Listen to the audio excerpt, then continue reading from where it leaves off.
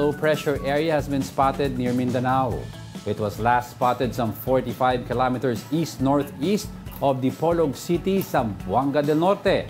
Pagasa says the possibility of the LPA developing into a tropical cyclone remains low. For now, the LPA and the Intertropical Convergence Zone, or ITCZ, may bring scattered rains. Affected areas include Dinagat Islands, Visayas, Mimaropa, Bicol, Quezon, Laguna, and Rizal.